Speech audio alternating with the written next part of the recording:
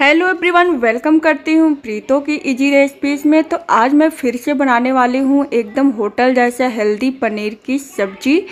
Sorry chilli paneer. तो आज है जो है सक्षम का बर्थडे अभी चार दिन पहले था लड्डू का बर्थडे और आज है सक्षम का बर्थडे तो आज मैं ज़्यादा बनाने वाली नहीं हूँ क्योंकि नीचे चिकन बन रहा है। जो चिकन नहीं खाएगा, उसके लिए मैं यहाँ पे पनीर की बहुत ही स्वादिष्ट सब्ज़ी बना रही हूँ। तो और यहाँ पे हमने तीन से चार प्याज ले लिया है, और दो से तीन हमने बड़े बड़े टमाटर ले लिया है, और उसके बाद यहाँ पे हमारे पास एक कैप्सिकम बचा हुआ था, वो हमने ले लिया है, और एकदम मतलब इतना अच्छा बना था कि लोग कह रहे थे कि आपने इसको बाहर से मंगाया है क्या? तो बस यहाँ पे मैं जल्दी जल्दी तैयारी मतलब कर ले रही हूँ और ये फटाफट से आपका ये पंद्रह मिनट में बन के तैयार हो जाता है। बस कटिंग चॉपिंग करने की देरी होती है। तो यहाँ पे हमने एक कैप्सिकम को चौकोर में काट लिया है।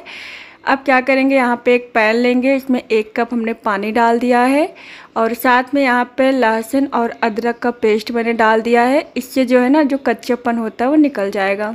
साथ में हमने प्याज डाल दिया है, ढेर सारा टमाटर डाल दिया है और उसके बाद इसको अच्छे से मिक्स कर लेंगे। भी प्याज टमाटर को पनीर में बनाने के लिए बॉयल कर रहे हो तो इसमें कुछ खड़े मसाले डाल दीजिए, इससे टेस्ट बहुत ही बढ़िया आता है। तो यहाँ पे हमने चार से पाँच हरी मिर्च, दो से चार हमने लौंग डाल दिया है, एक बड़ी इलायची, दो छोटी इलायची। अब क्या करेंगे, इसको हम ढक देंगे। बस इसको थोड़ा सा मुझे मतलब पका लेना है। तो इससे क्या होती है, फटाफट से ग्रेवी बन के तैयार हो जाती है और बहुत ही स्वादिष्ट चिली पनीर की सब्ज़ी बन के तैयार होगा। तो यहाँ पे एक किलो के करीब ये पनीर है। तो पाँच से छः लोगों के लिए मैं बना रही हूँ। तो ग्रेवी को मतलब झटपट में बनाना है तो इस तरह से आप ज़रूर ट्राई करें और बहुत अच्छा भी लगता है। लगता है कि जैसे हमने बाहर से ही मंगाया हो। तो बस यहाँ पे क्या करेंगे? पनीर को डायमंड शेप में इस तरह से कट कर लेंगे। जैसा भी आप शेप देना चाहे, थोड़ा सा लुक अच्छा लगता है, बस और कुछ नहीं। तो बस यहाँ पे देखिए, हमने डायमंड के शेप में इस तरह से सारे पनीर को हम काट लेंगे। और तो बस फटाफट से खाना बना के फिर अभी मैं डेकोरेशन की तैयारियाँ करूँगी। और आज है बाईस जून जी हाँ गाय सक्षम को ढेर सारा विशेष कर देना विश दे देना। तो यहाँ पे देखिए, हमारा ये प्याज टमाटर अच्छे से गल चुका है और अब गैस के फ्लेम को ऑफ़ कर देंगे और इसको हम ठंडा कर लेंगे। तो जब ये ठंडा हो जाए तो इसको हम ग्राइंड कर लेंगे। तो होटल वाले भैया, अब इसी तरह से मतलब सॉरी होटल वाले ऐसे ही करके इसको मतलब प्यूरी बना के और बस फटाफट से फ्राई करके दे देते हैं।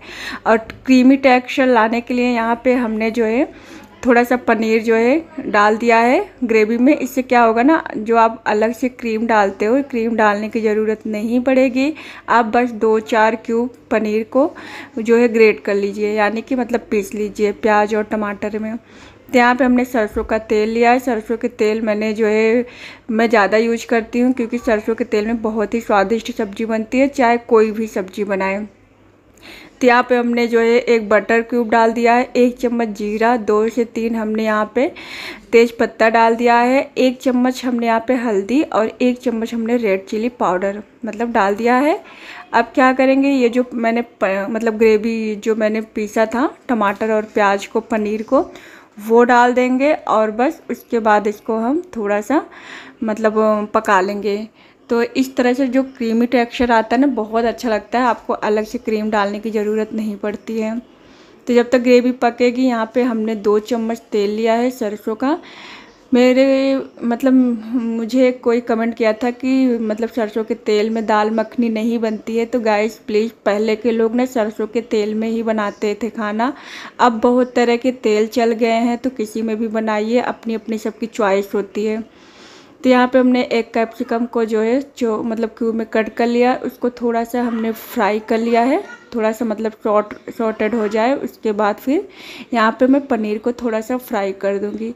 पनीर को फ्राई करने से इससे स्वाद बहुत बढ़िया आता है और बहुत अच्छे से जो है मतलब फ्राई भी हो जाता है और अच्छा भी लगता है। तो इससे थोड़ा टेस्ट अलग आता है। तो यहाँ पे हमने एक चम्मच हल्दी पाउडर, एक चम्मच रेड चिली पाउडर डाल दिया है और थोड़ा सा हमने आधा चम्मच गरम मसाला और बस इसको मीडियम टू हाई फ्लेम पे करके पनीर को फ्राई कर लेंगे। वैसे तो मैं ज़्यादातर पनीर को वैसे ही डाल देती हूँ, लेकिन कभी कभी फ्राई करके बनाती हूँ। इससे जो टेस्ट है अलग हो जाता है। यहाँ पे हमने पनीर मसाला डाल दिया है, दो चम्मच भर के। साथ में हमने यहाँ पे डाल दिया है कसूरी मेथी और उसके बाद यहाँ पे स्वाद के अनुसार नमक डाल दूँगी और ग्रेवी को पका लूँगी। तो जब तक हमारी ग्रेवी पकेगी, तब तक यहाँ पे हमारा ये पनीर भी फ्राई हो गया है। अब क्या करेंगे? ग्रेवी में डाल देंगे। तो ग्रेवी को एक दो उबाल आने देना है, उसके बाद पनीर को डालें। इससे क्या होगी ना, झटपट बन जाएगी, क्योंकि पनीर तो अपने आप में ही पका होता है। उसको ज़्यादा पकाने की ज़रूरत नहीं होती है। तो बस इसको ओपन करके तीन से चार मिनट तक पका लेंगे। तो एकदम होटल जैसी बनी थी, क्रीमी टेक्सचर में। ज़रूर आप एक बार ट्राई करना, आपको बहुत अच्छा लगेगा। यहाँ पे अब मैं डाल दूँगी हरी धनिया, ढेर सारा। तो जब भी मैं बर्थडे होती है या फिर ज़्यादा लोग खाने वाले होते हैं तो मैं पनीर की सब्ज़ी जो होता है, इसी तरह से बनाती हूँ और सबको बहुत पसंद आता है। और आप भी ज़रूर बनाना, आपको भी बहुत पसंद आएगा, क्योंकि पनीर के जो सब्ज़ी होते हैं ना, बहुत तरह के बनाए जाते हैं। आप जिस तरह से बनाए स्वाद भी सबका अलग होता है और बनाने का भी तरीका सबका अलग होता है। तो यहाँ पे हमने 10 ग्राम पनीर और जो है हमने कद्दूकस करके डाल दिया है।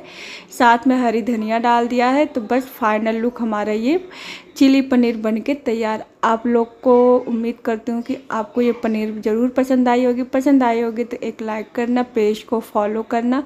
अच्छा लगे तो सब्सक्राइब कर लेना। और मिलती हूँ नेक्स्ट रेसिपी में। तब तक के लिए thank you. Bye take care.